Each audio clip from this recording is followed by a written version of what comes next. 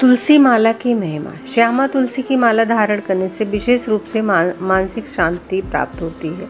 ईश्वर के प्रति श्रद्धा बढ़ती है मन में सकारात्मक भाव विकास होता है। आध्यात्मिक उन्नति के साथ पारिवारिक तथा भौतिक उन्नति होती है।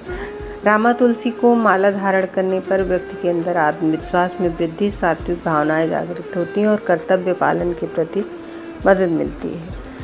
तुलसी माला में विद्युत शक्ति होती है। तुलसी की माला पहनने से बुखार, जुकाम, सिर दर्द, चमड़ी के रोगों में भी लाभ होता है। संक्रामक बीमारी और अकाल मौत से मृत्यु नहीं होती।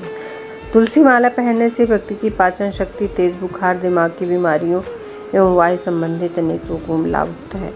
तुलसी की माला पहनने से यश, कीर्ति में वृद्धि होती है। व्यक्ति को रोग शोक नहीं होता।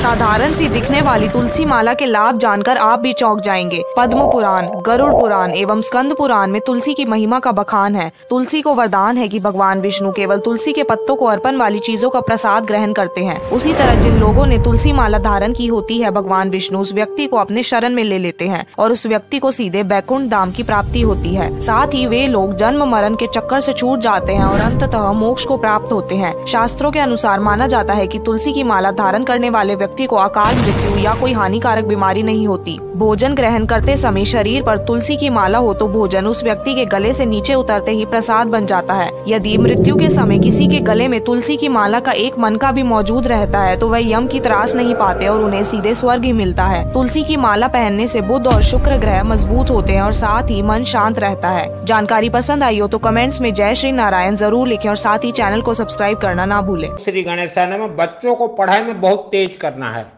या आप तेजस्वी बनना चाहते हैं सभी ग्रह दोष से मुक्त होना चाहते हैं तो पंचमुखी रुद्राक्ष आपके जीवन में बहुत समस्या है। अपना जन्म कुंडली किसी को ना दिखाएँ। पंचमुखी रुद्राक्ष का आप उपाय कीजिए। पंचमुखी रुद्राक्ष एक किलो ये पंचमुखी। वह रुद्राक्ष में थोड़ा कर्पूर मिला दीजिए थोड़ा चावल थोड़ा गेहूँ और हल्दी का पाउडर। और अपने अपने क्षेत्र के शिवलिंग शिवालय में आप चढ़ा दीजिए और दो चार दाना अपने पूजन घर में ज़रूर रखें।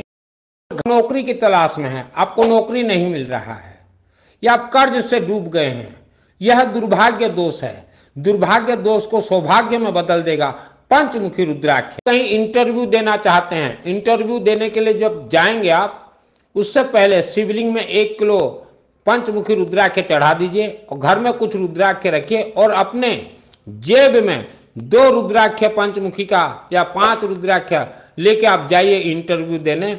नौकरी आपको हंड्रेड परसेंट मिलेगा। बच्चे जब एग्ज़ाम देने जाते हैं तो उनको बोलिए कि पहले रुद्राक्ष चढ़ा के आइए, क्योंकि रुद्राक्ष को कहा गया है शिव जी का महाप्रसाद। तो रुद्राक्ष चढ़ाइए और साथ में एक त्रिशूल छोटा सा चढ़ाइए। आपके पूजन घर में पूजन कक्ष में पंचमुखी रुद्राक्ष रहना ज़रूरी है। अगर पंचमुखी रुद्राक्ष अगर नहीं है तो आप जितना भी पूजन कीजिए। आपका पूजन पाठ कभी भी काम नहीं करेगा। धन्यवाद। मेरा नाम है सुनील अग्रवाल दस महाविद्या का तंत्र शास्त्री और त्रिशूल ब्रह्मास्त्र विद्या छोड़ता हूँ ऑल वर्ल्ड। और हर रोज हमारे माध्यम से रुद्राभिषेक नमक चमक चलते रहते हैं उड़ीसा राज्य में। आपको रुद्राभिषेक नमक चमक में भी अपना नाम अगर शामिल करवाना हो तो ओनली व्हाट्सअप चैटिंग Mm-hmm.